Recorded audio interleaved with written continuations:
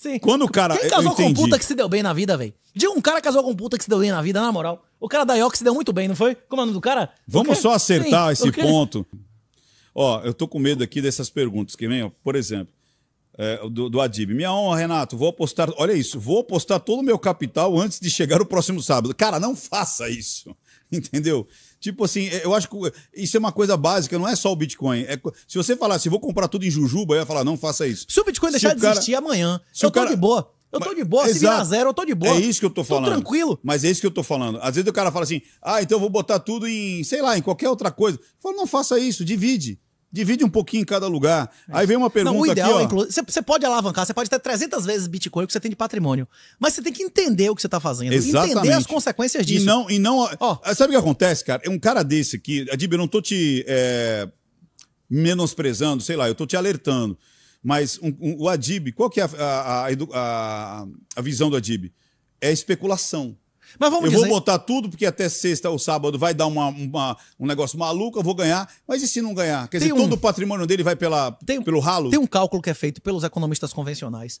Que você só pode expor de ação sua idade menos 100. Você já ouviu essa? Sua idade menos 100? É. Menos 100 o que que você fala? Menos 100. Se você tiver 100 anos, é zero exposição a ações. Você não tem, porra. Entendi. 100 anos tem que ter zero exposição a ação ou não? Entendi. 50 anos, 50% no máximo. Porque você pegar uma grande crise, você não vai viver nem isso pra recuperar. 10 anos, 90% em ação, não é isso? Entendi.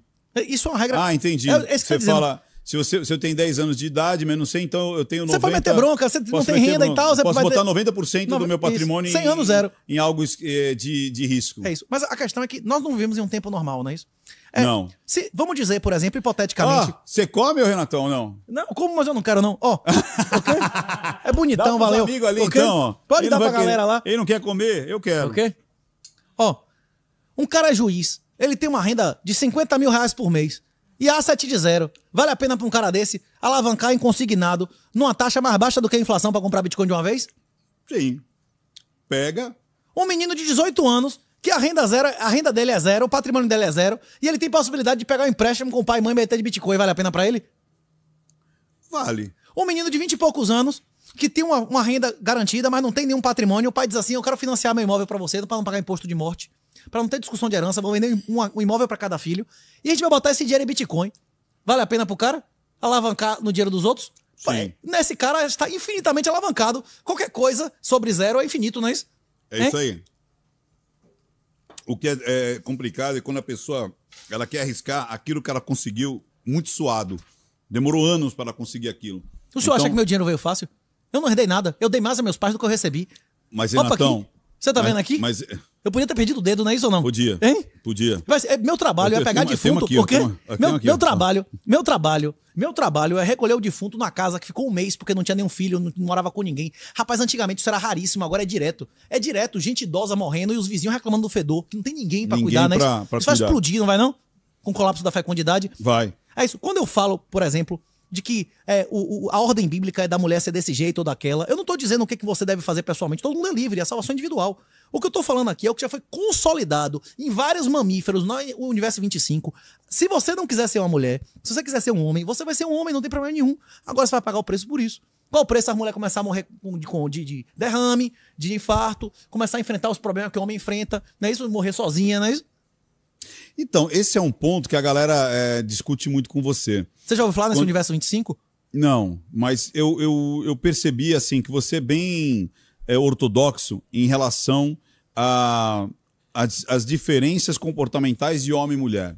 É isso. Mas Isso veio com você, isso veio por Isso é uma conta... ordem, de- isso é uma ordem no primeiro livro da Bíblia. Essa é uma ordem divina do Deus. Eu sou o Deus criador do universo. Eu te ordeno isso. Essa é a consequência da queda do Éden, da sua desobediência. Nós somos desobedientes. Somos. Então continua essa, essa. Eu não vou chamar de maldição, anátema, né? Essa consequência de nossos atos, não é isso? Sim. Continua ou não? Continua. Você continua sendo obrigado a tirar o suor do seu rosto? Continua. O pão da sua. Se você não botar, se o pão. Se o pão que você bota na sua casa não vier do suor do seu rosto, você é um vagabundo, você é um ladrão, não é isso? Que agora eles querem chamar de socialista. Não, eu quero que, que- que o meu pão de outro suor de outro homem, não é isso ou não? É. É. E, e- e a mulher que. O, o papel da mulher era parir, não é isso? E que o seu prazer será para o seu marido que a governará. Tem isso na Bíblia ou já apagaram? Tá lá na Bíblia. Pois é. E isso é confirmado por diversos experimentos.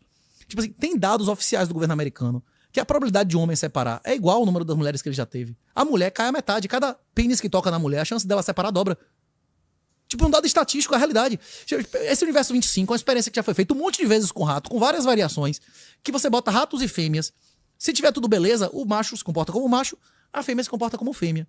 Se tivesse hiperpopulação naquele lugar, as fêmeas vão se comportar como machos e os machos vão se unir para destruir os, os, os, outros machos que com, começaram a defender a fêmea, como a gente tá vivendo hoje. E as fêmeas que viverem isso nunca mais revertem a ser fêmeas normais. Elas não vão entrar no cio. Se entrarem, não vai cuidar do filhote ou senão vai matar o filhote. Que é exatamente o que a gente tá fazendo com nossas filhas, dizendo para elas que o importante é ser independente, estudar e ganhar dinheiro.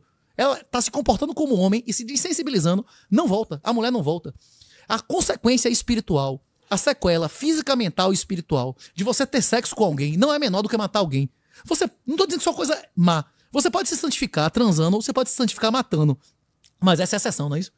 Sim. A regra é que você se sujar, não é isso? Sim. Pois é. É, o que é, é- é- essa, esse é um assunto que às vezes é, incomoda muito as É, pessoas. são tabus que têm ciclos. Tipo, há 100, 200 anos atrás só se falava de morte, não se falava de sexo. Agora, ao contrário, só se fala de sexo, não se fala de morte, não é isso? Sim. Ah, nenhuma civilização, nenhuma civilização funcionou na história da humanidade sem, sem nenhuma religião e com divórcio sem culpa.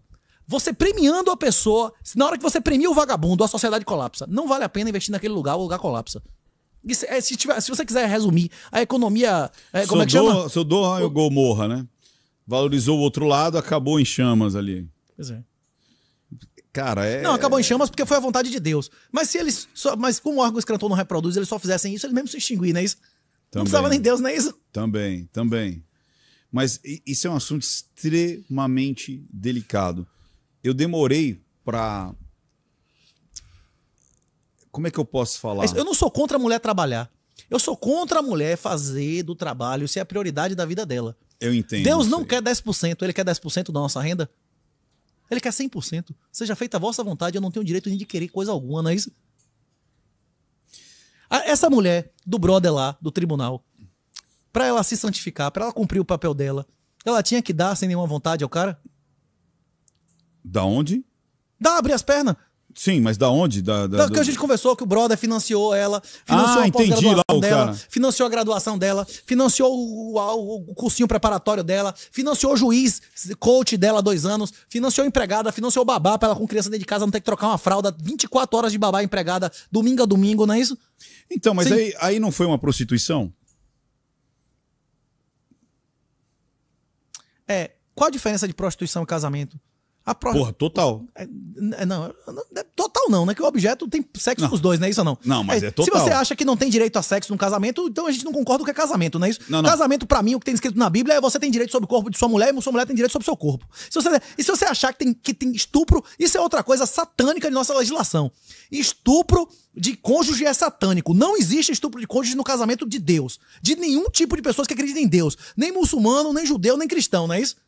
Cara, isso aí é indiscutível. Agora, se pro muçulmano e pro judeu existe separação com causa e quem deu causa paga, não é isso? Sim. E pra Jesus não existe divórcio em nenhuma hipótese, não é isso? Porneia, porneia, a palavra porneia não é adultério. Ela nunca foi usada como adultério na Bíblia inteira, não é isso? Porneia são atos anteriores que seria anulação, não é isso? Sim, anular o casamento. Sim. Por conta de alguma coisa que aconteceu que não estava correta ali. é. Aí Existe estupro de cônjuge an- no casamento divino? Você não tem Não, direito sobre de- sua mulher, rapaz? Hein? Então, se a gente pensar que a cabeça daquela pessoa é uma cabeça boa, é, o casal é, vai se dar bem. Se um dos dois está com uma cabeça ruim, transviada, ou seja lá o que for, não vai ser, não vai, como você viu, não vai ser santo, não vai ser santificado. E como é que eu vou saber se eu tô entrando num casamento santificado ou com um maluco? E vice-versa, uma maluca ou um Se a mulher reconhece ou não a existência de um Deus, é só o primeiro livro da Bíblia. Se ela e concordar, ela sabe o que é casamento. Se ela, não, se ela e não concordar, ela discorda do que é um casamento. Aquela mulher não- nunca foi sua esposa. Se a mulher não acreditar em. em- no- no- ela pode ser muçulmana. Ela tem que acreditar Renatão, no primeiro eu- livro da Bíblia. eu- é eu- pode ser até judia. Mas se ela não é reconhecer aquilo, acabou, conversar não existe casamento. Eu, eu con- porque isso é polêmico pra caramba. Eu concordo com você quando você fala. E eu vou botar para minha, pra minha linguagem quando você fala das funções da mulher e das funções do homem. Eu acredito muito nisso. No, no sentido arquetípico. Mulher e homem são diferentes, têm papéis diferentes. De- a- a dismorfismo sexual. Sim. O formato do corpo e a quantidade de hormônio modifica as aptidões naturais. Não Sim. significa que é 100%, mas são tendências que nos Sim. grandes números se confirmam. Isso eu, eu- Inclusive, a maioria, a, maioria das, a maioria das mulheres na história da humanidade, elas reproduziram. Isso é provado estatisticamente no haplogrupo de mitocondrial e no haplogrupo Y. E a maioria dos homens não reproduziram porque a estratégia vencedora, tipo, dentro da etnobiologia, que não é nem cultural, pro homem é assumir risco. Se a maioria se lasca, você tem que ser mais que a média. E a mulher não assume risco. Se você desviar da média, você se lasca, não é isso? Sim. Por isso que. é, e aí Por você isso que, fala que. ser mulher vivendo fácil. A mulher vence por default. Default? Mas, mas, é, Não por aparece. padrão, por padrão, é só você não fazer merda que você vence. Não. Aí, ah, é, é complicado, cara. Nessa hora. Não, isso que eu tô falando aqui não é uma estar opinião, não. umas É 50 um fato estatístico. A Eu- maioria das mulheres da história da humanidade reproduziram ou não? Sim. Sim. A maioria dos homens reproduziram? Não. Então, se a pessoa não continuar Então, com a média, como homem se lasca, risco, e como muito mais mulher risco. não se lasca, cumpriu a missão dela. Ou não? Sim. Só que hoje em dia a gente tá vivendo um mundo que a fecundidade tá chegando a níveis que a maioria das mulheres vão reproduzir.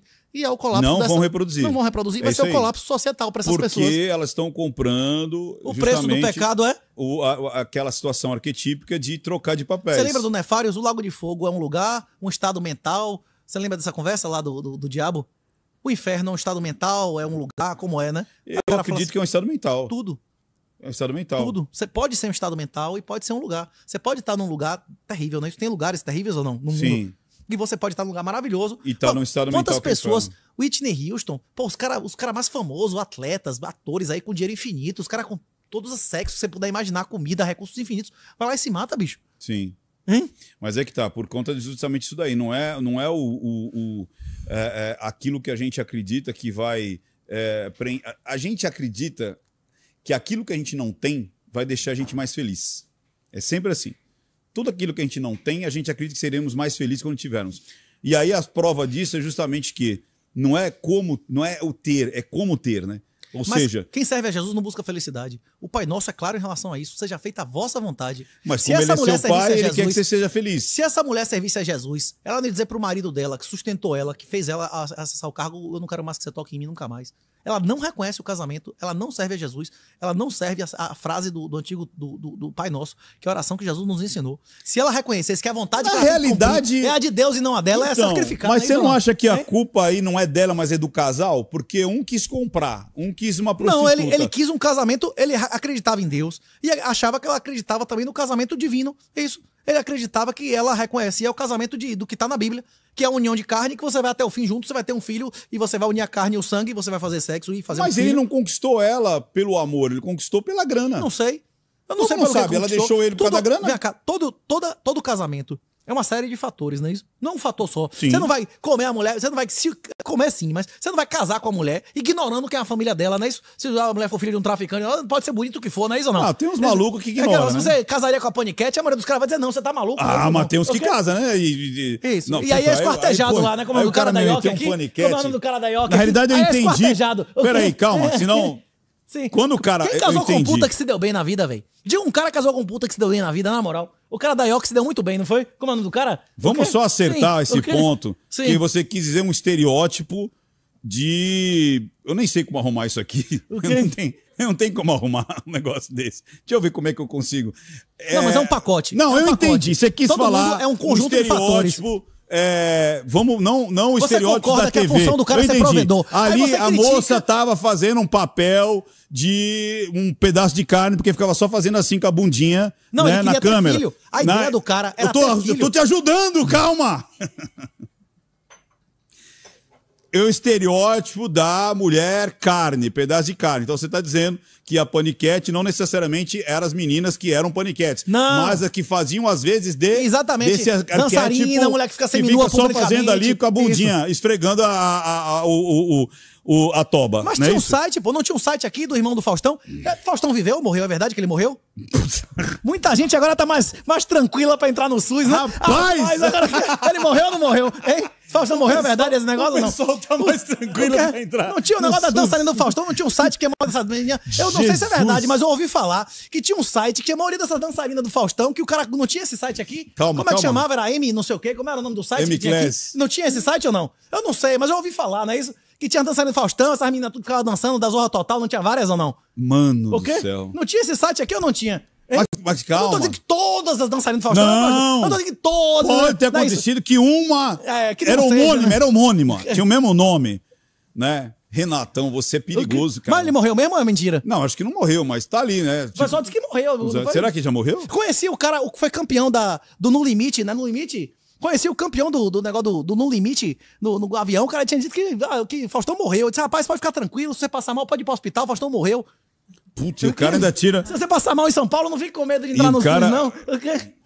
Que não vai virar doador, nada, tipo, cara, mas isso é perigoso o negócio dele. Mas é tipo assim, é uma piada, né? É uma brincadeira, não é isso? Não sei. Não, é, é, Renatão, é. É uma brincadeira, uma Eu não tô no piada. coração de ninguém.